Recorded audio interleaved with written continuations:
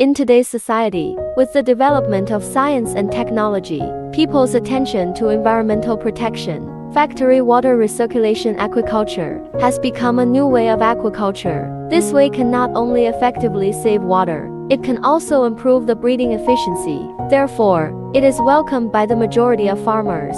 However, for newbies, how to quickly master the skills of factory water recirculation aquaculture? First of all, we need to understand what is factory recirculation aquaculture. Simply put, factory recirculation aquaculture is in a closed environment, through a series of water treatment equipment, to purify and stabilize the water quality. This way can not only save water, it can also reduce the occurrence of disease, improve breeding efficiency.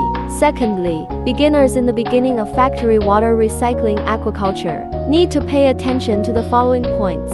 Choose the right equipment, master the correct operation method, maintain the equipment regularly, pay attention to changes in water quality. Finally, at the beginning, you may encounter various problems. At this time, you need to have patience, do not be in a hurry, and actively seek professional help through continuous practice and learning before you can really master the skills of factory recirculating water aquaculture. If you are interested in factory recirculating aquaculture, click on the follow button and we will see you in the next video.